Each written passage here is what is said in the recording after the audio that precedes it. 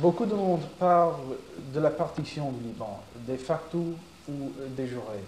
Euh, Est-ce que vous êtes pour ou contre une telle partition? Ah, je suis euh, indiscutablement, sans aucune hésitation, contre la partition. Je ne peux pas admettre qu'il y ait un petit Liban euh, chrétien, à grande majorité maronite, qui finirait par être un second Israël dans, dans cette partie du monde.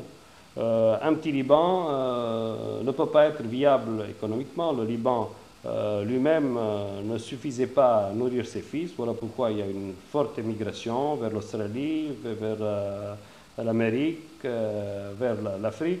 Le Liban, dont la superficie n'est que de 10 400 km, et qui vivait difficilement, où la vie était difficile pour beaucoup de Libanais.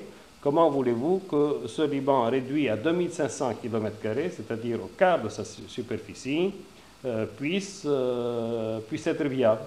Et encore une fois, euh, dans l'intérêt des chrétiens, non seulement les chrétiens du Liban, mais dans l'intérêt des chrétiens qui se trouvent dans le monde arabe, il ne faut pas que nous ayons l'air d'être les nouveaux Israéliens.